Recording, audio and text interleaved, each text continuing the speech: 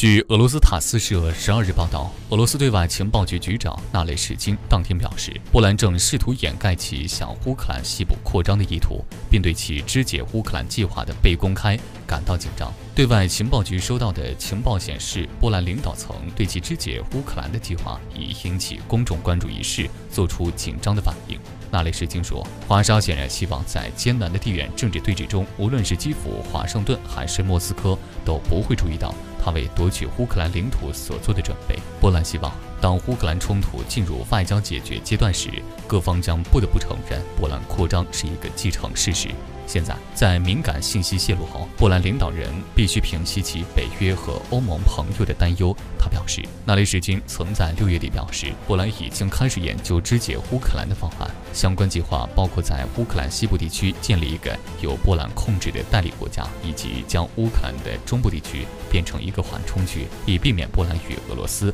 发生直接冲突。塔斯社十二日称，现在华沙希望通过广泛宣传。来纠正这种情况，政府已指示智库和大众媒体开展媒体活动，掩盖波兰的行动，并驳斥谣言。根据俄对外情报局的信息，波兰计划重点营造乌克兰所有邻国集体参与基辅事务的形象。为此，华沙计划在乌克兰问题上与匈牙利和罗马尼亚进行更密切的合作，以躲在匈牙利和罗马尼亚的身后，实施其真正的计划。